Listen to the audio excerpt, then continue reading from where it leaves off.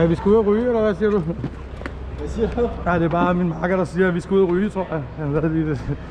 Hvis vi kan nå det. Hvad, Jon? Vil du ud og ryge, eller hvad du siger? Ja, lad os skynde os at ryge.